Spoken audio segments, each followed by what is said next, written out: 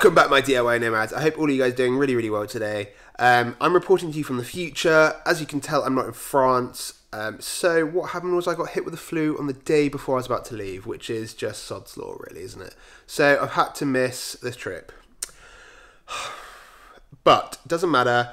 I tried to get better to try and leave the next day, but it's just it just wasn't happening. So I took the signs. Uh, I worked on this week to try and get some positives out of it, and I might have got something that I will hopefully release and use in the coming weeks if everything gets confirmed.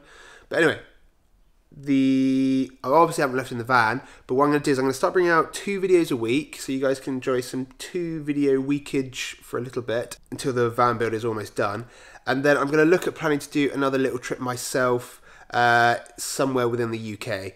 Um, I'm to try and go. I don't know. I, I, I mean, if I can do a thousand miles in the UK, that would be pretty cool. Um, but we'll see.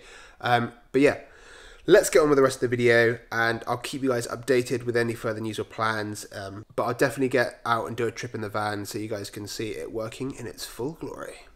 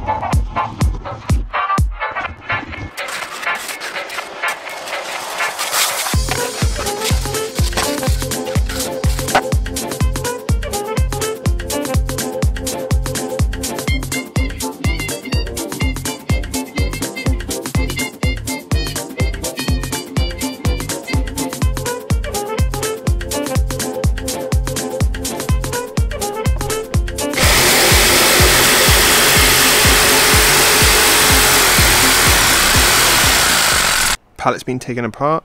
I've cut up the slats, put them on top. Now, uh, I've basically gathered together a bunch of screws that I found from random pots in the bottom of drawers, um, bits of furniture that I've taken apart, or like other random things like stuff that I've just found.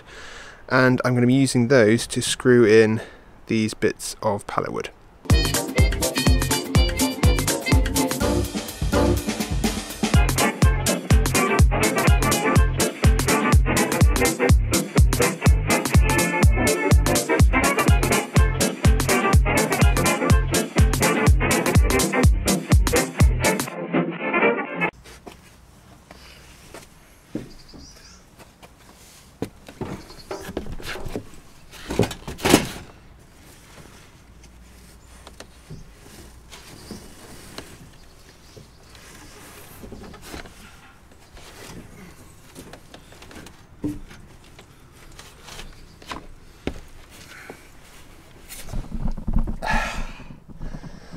Ah, yeah.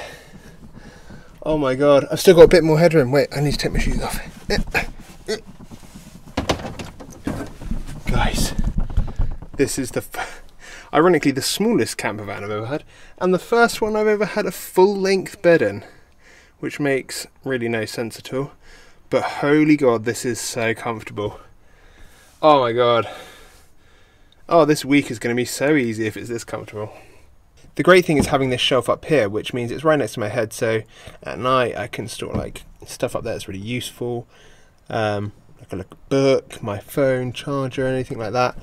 Um, one thing I have realised is because actually the cost of screws is quite expensive, the two packs that I bought to get most of the stuff done um, have rinsed through a bit more money than thousand pounds. So what I've done is to bring it back down under budget.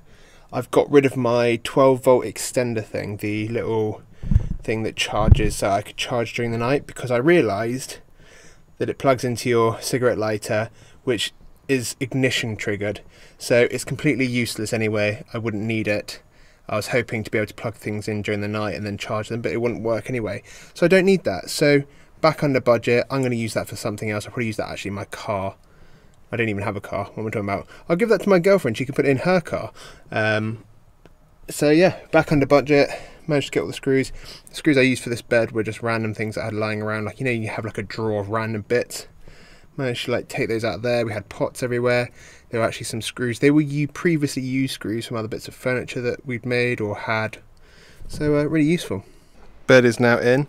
I'm going to give you a sneaky peek of what's up next. Oosh, look at my little sink. There we go, it's away. Right now, so this is my bed in its stowed away position. The head is up at the end there, and still got my storage underneath. This is it up. I can drive around, I can even take a passenger potentially if it goes up higher. And then when I get to my camping location, I can basically unclip this, bring the seat forward, bed drops down and rests on the, that bulkhead, and I've got a flat bed again, which is fantastic.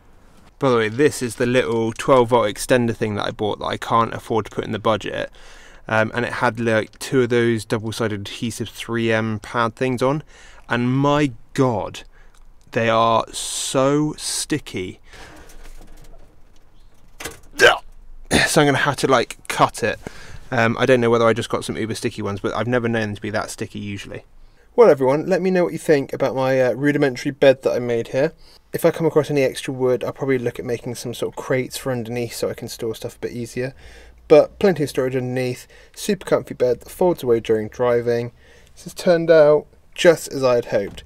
Um, so please remember to subscribe because the series is still going. We're nearly at the point of leaving. I've uh, it's now Monday.